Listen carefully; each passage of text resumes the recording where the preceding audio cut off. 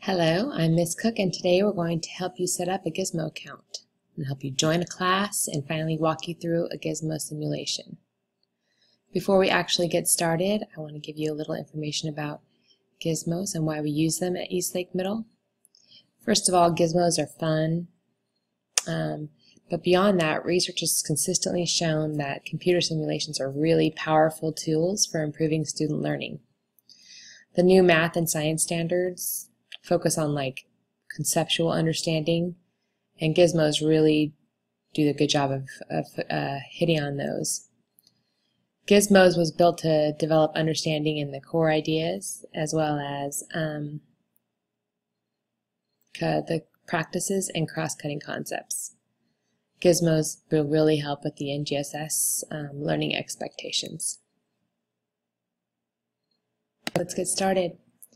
First, you're going to go to explorelearning.com where it takes you to this page. You're going to click on Login, Enroll. Once you click on that, you're going to be prompted for a code, a class code. Your teacher gave you a special code um, for this class. The instant this class is, the code is F3PM HV G-P-E-L. Then you click on Enroll in Class. From here, you confirm that this is the class you want to enroll in. If it is correct, then you proceed. If you already have an account, you click on Already Have Account. And you'll simply use your username, and which should be your ID number plus your first and last initials, and your password should be your eight-digit birthday. If you don't have an account, which most of you don't, you need to click on the green, light green button that says I need to create an account. Um, register now to enroll. The next screen will prompt you to have some personal information. So you'll have to put your first name and your last name.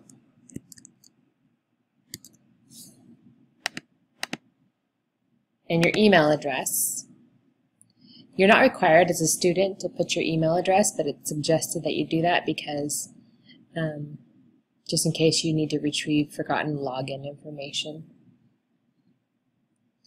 The username you want to use is your ID number plus your first and last initials. So for, the, for this simulation, I'll use 1, 2, 3, 4, 5, 6, 7, 8 first and last initials K and K, and then my birthday is my eight-digit password. Then you click Submit. So when you first log into Gizmos, this is kind of what it's going to look like. Um, you can return to your class anytime by selecting the class link right here at the main nav navigation bar at the top right. You may have more than one teacher, multiple teachers using the gizmo, so you also might see multiple tabs here.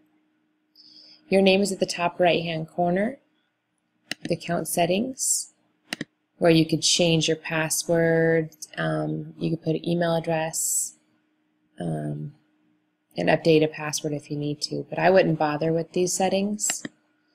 You can also enroll if you have another teacher you can enroll in a class link here to add a class.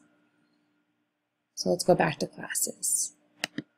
Once you've selected a class, all the gizmos chosen by your teacher are under that class um, title. To use a gizmo on the list, all you need to do is click on um, Launch Gizmo. Once you're here, you'll see your gizmo um, this happens to be a food chain gizmo. Um, each gizmo has its set of controls that you could change uh, one at a time, variables. They also have different ways, different uh, ways that data is displayed. You have tables, bar charts, graphs, and every gizmo has at least um, two ways to see data. Before you begin a gizmo, it's also recommended that you take some assessment questions. This will kind of help you guide the um, where the model is going for you. So I hope uh, you enjoyed this screencast of mine, my very first one ever. Um, next time we'll talk about how to use the controls and how to manipulate some of the tools for gizmos. Have a nice day.